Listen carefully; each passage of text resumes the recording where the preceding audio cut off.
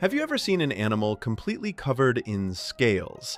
But it's not a reptile. Meet the pangolin, one of the strangest and most fascinating mammals on Earth.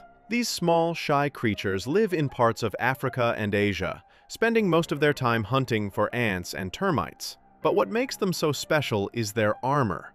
Thick, overlapping scales made of keratin, the same material as human nails. When danger appears, the pangolin doesn't fight or run. Instead, it curls up into a tight, unbreakable ball.